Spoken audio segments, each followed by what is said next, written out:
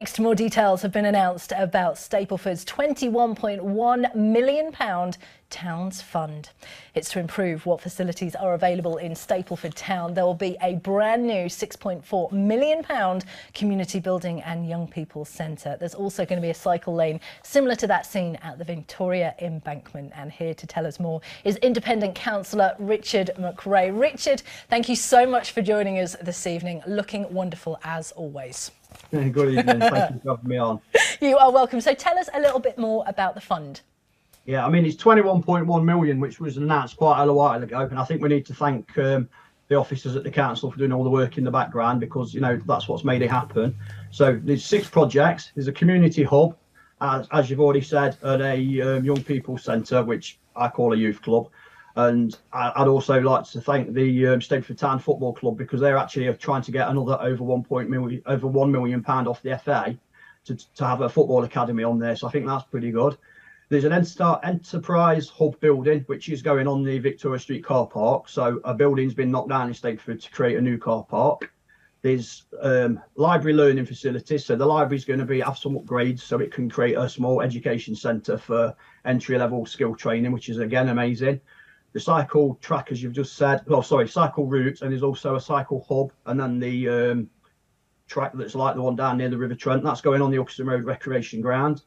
There's improvements to the high street, which is you know alterations to the roads and hopefully the speed humps. Um, that's ongoing at the minute, so we, we're all excited to see the details for that, and then there'll be a bit of a public consultation on that one because we want the community to get involved in this.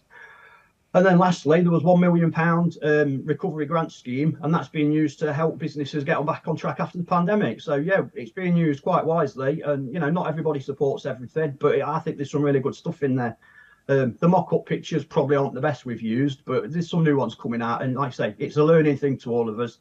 I, I think people will appreciate it all when we get there, and it's one of them things you can't please everybody, but we've been given 21 million pound. It's amazing. It's unbelievably amazing. And, um, you know, the stuff that we're talking about, uh, that you've just been talking about that's going to happen in Stapleford sounds amazing. Um, I'm sure there's lots of other places that would also like that kind of funding. How did Stapleford manage to secure it? Yeah, well, it was the government announced many places before the, um, I think it was before the elections a while ago. And like I say, there was 25 million you could apply for. A lot of people have put a lot of work in. Um, it's, it's been cross-party, it's been officers, it's been councillors, it's been people in the community. It's a proper community thing. There was a public consultation. You know, lots of people did apply. It would have been nice if more had done.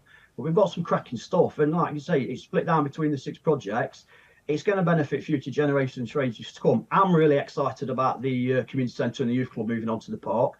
Other people are really excited about other bits. And I really do think we've got some of the right people you know, dealing with each project that are better at what they're doing. Um, and that's how we're going to make it work, aren't we? And what do you think this will mean to the people of Stapleford? What, what, how much of a difference in people's lives will, will this funding make? I think people aren't seeing it at the minute because there's no spades in the ground. You know, we've actually started knocking one building down to build a car park, and I know I've seen negative posts about that on the internet, but I think it's one of these. You know, let, let us get it done, and then let, let's prove to people it works, and I hope we do. Um, it, it's going to make a difference to the high street. We've, we've just lost Nottingham Building Society. So, you know, we've had some shops go, but we've had some come as well. So let, us get this all done. You know, 21 million pound, it, it's nothing to be sniffed at, is it? And then if people can, you know, back what we're doing, a bit more positivity on the internet. Like you, you need your criticism, but I'd prefer to see constructive criticism than people just blatantly having a go for the sake of it because it is a big project. You know, I'm not saying we've got everything right, but I 100% know that everyone involved in it is giving it the best and doing the best we can. That's all we can do, isn't it? Absolutely. Well, it just sounds brilliant. Um, I'm hopeful to see some of those plans uh, starting very soon, but it is always a pleasure to talk to you, Richard. Thank you very much for coming on. Thank you. Thank you very much. Right.